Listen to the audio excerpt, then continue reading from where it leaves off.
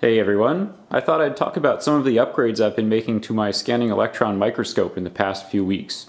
Uh, but first, I want to give a big thanks to the FEI company for helping me out with this new turbomolecular pump and also a Pirani vacuum gauge that I've been using on my sputtering setup.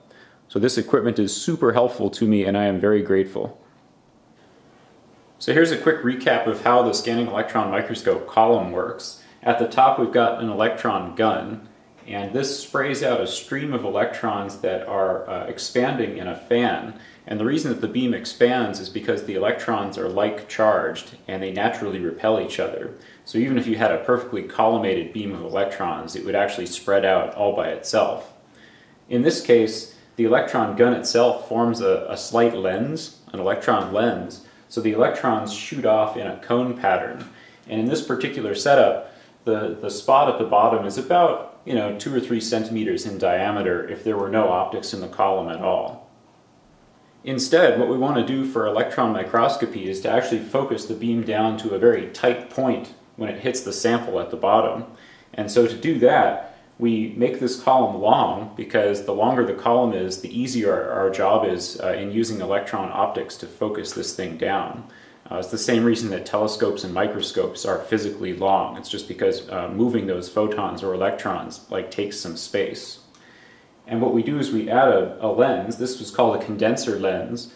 And it takes the beam that we've generated from this electron gun and focuses it down again. So there's sort of a crossover point here, just like you'd have a crossover point with a magnifying glass. The light sort of crosses over, forms a focus, and then starts expanding again.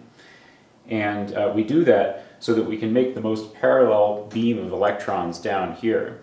And we do this with a combination of these electron lenses and pinholes. So you can see on the diagram here, there's a pinhole going into this first lens, and then a pinhole down here. And the whole purpose of this whole setup here is just to get a very um, collimated thin beam of electrons here. So the next step is to scan this very thin collimated beam of electrons across our sample. So this way we can sort of build up an image by scanning the sample in a raster pattern, basically filling up the image pixel by pixel. And we have a couple options. We could either use a magnetic field to move those electrons, or we could use an electric field. Now generally most modern electron microscopes use a magnetic field because uh, you can get a stronger magnetic field more easily. So you can make the whole column more compact and allow it to do more uh, by, by concentrating a magnetic field. However, the problem with that is that you need to make iron pole pieces, and the shape is very sensitive to how the, you know the, the shape affects how it operates in a very critical way. So an easier solution that isn't as quite as high performance is to use electrostatic deflection. And it's easier because all we need is a couple of plates, just a plate on either side of the electron beam, and then we just put a voltage across those two plates, and the electron beam will be deflected as it goes through the electric field formed by those two plates. And so in the video today I'm going to talk about uh, the amplification or the driver that I made that drives the voltage on these deflection plates. And then after we've deflected the beam there's a final focusing lens that will take this collimated, you know, very thin but collimated beam of electrons and actually focus it down to a point right onto the uh, surface of the thing that we want to image. I don't have the lens installed right now, but it would go right below these deflection plates. So originally I was using a disassembled oscilloscope to generate the voltages that I need on these deflection plates to move the electron beam around. And this worked out pretty well because the oscilloscope already has amplifiers to uh, amplify a small input signal, could only be like a volt or even less, and amplify that all the way up to the hundreds of volts that we need to move the electron beam around.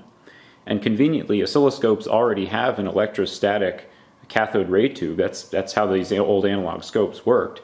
And so all I had to do is unhook the deflection plates in the CRT and hook the scope circuit up to the deflection plates in my electron microscope. So it was sort of a, a really low work, pretty high performance solution. However, I did end up running into problems the voltage available was only about, I think, 150 or 200 volts, which wasn't quite enough. So I couldn't scan a very big area because the voltages were just not high enough to move that electron beam enough. And the offsets, or the available range of offsets, was limited uh, because of this, and that was the, sort of the biggest problem.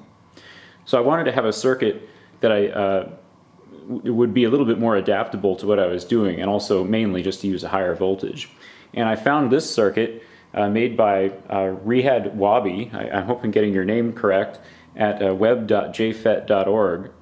And this guy builds uh, oscilloscope clocks and similar things, and also needed a deflection circuit to drive CRTs. So I've modified his circuit a little bit, uh, but the main gist of it is that it's a, a single-ended to differential uh, amplifier. So we put our positive voltage across the top here, and then we have common emitter uh, single transistor amplifiers, and they're coupled together with this pot here. So as we put a, an input signal here, let's say 0 to 5 volts, uh, these amplifiers, this is non-inverting and this is inverting. And so what we have up here are two signals that are out of phase with each other. And that's good because that means that the average voltage between these two output lines is go always going to be about the same. So that as one goes up, the other goes down and vice versa, but they always average out to about the same. If they didn't, if there was a common mode change, or if the average voltage did actually change, then these deflection plates would start working like a lens. But unfortunately, they only exist, the deflection plates are only in one axis. And so what we'd have is a lens that only functions in one axis and not the other. And that would cause astigmatism, which is basically if the beam becomes sort of oval shaped instead of round. Now, if you can control that, that's actually a good thing because we can correct for astigmatism that's caused by other uh, things in the system. We can actually make an astigmatism corrector. However, if we don't have control over it, then you might get astigmatism uh, and you know you can't correct for it. This circuit will introduce a slight amount of common mode voltage changing and you can't actually control it that easily. Uh, but I'm working on some tweaks that will uh, fix that. The transistors are ZTX458, which are a good high voltage transistor that can take up to about 400 volts and also have pretty good gain. I think the gain is about 200 on these. And so I've set the circuit up with a 350 volt rail here, and I'm using 470 k ohm uh, pull-up resistors here. So it's a basic common emitter amplifier where if we put some current into the transistor, uh, it will pull down on this resistor here and lower the voltage here. So when the transistors are not conducting anything, the voltage on these lines is very close to the rail. And when the transistor is fully conducting, then uh, the voltage is very close to ground, although it's a little bit off because of the emitter resistor there. Originally, the circuit had an additional transistor in here so that he could use a much higher supply rail. Since I don't have that uh, set up on my circuit here, I just took out that transistor and then lowered the supply voltage down to about 350 volts. This pot controls the offset basically where the scanning is going to happen. It basically just moves the whole uh, center point of this amplifier. And this pot controls the gain. So if this is a low value, then the coupling between these two amplifiers is very tight and you'll get a very high gain. So I soldered the circuit together on some vector board and added an op amp just to um, provide like a, a voltage follower on the input. So the input impedance to this amplifier is relatively low and I wanted to drive it from a PWM output, which is going to have a relatively high output impedance. So the op amp fixes that problem. I'm using an old rack mount high voltage supply for the 350 volt rail, and the current draw in sort of a worst case scenario would be uh, 2 to 3 milliamps. Okay, let's fire it up. The first step is to turn on the roughing vacuum pump, and you'll actually be able to see the blades of the turbo pump turning just from the air being drawn through it.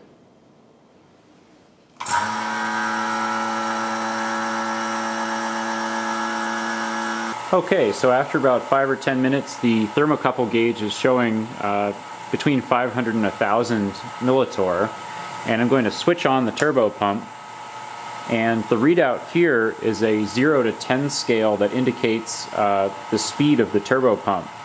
So this, this pump has a built-in controller, and you basically just tell it to go on, and it will ramp up the speed automatically.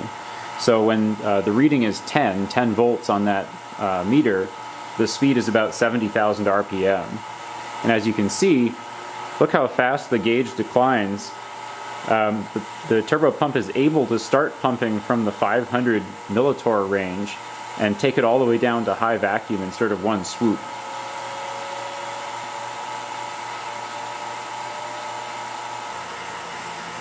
Okay, so we've been pumping for about 10 or 20 minutes and we're down to about 5 times 10 to the minus 5 millibar.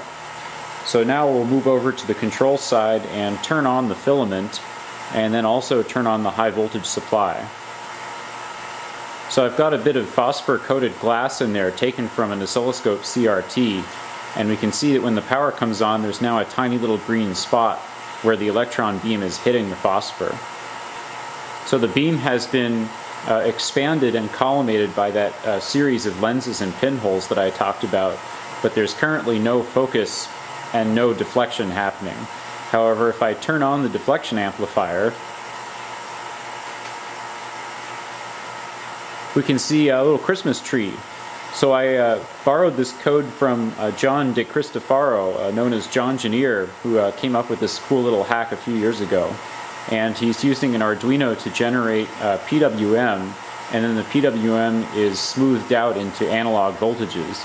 So you can feed this into your XY mode on the oscilloscope and have a nice little uh, Christmas tree graphic there. So I can use the control pots in the amplifier to move this image around and you can see that when we get close to one of the extremes it will start bunching up because the deflection plates have sort of run out of the ability to actually uh, move the electron beam. But as you can see the range is actually pretty good and of course we also have control over the scale. Here's a more typical raster scan pattern. So this is covering a square area and it's being scanned very slowly so that you can see the movement of the beam. Here's a back and forth raster scan. Uh, with digital acquisition it doesn't make sense to return the beam all the way to one side. And so here we're just scanning back and forth and covering a, a whole rectangle that way. And here we are going much faster, so now you can see the area that it's actually tracing out. And of course we could do the back and forth in the y direction as well, uh, instead of returning to one edge like it is now. Unfortunately, the PWM output from your Arduino is not even close to fast enough to get a real-time image out of this, at least I don't think. And so I, I think what I'm going to have to do is implement a microcontroller with a true DAC to get the bandwidth and the accuracy that I want out of this. Uh, but that'll be a topic for a future video. Okay, see you next time. Bye.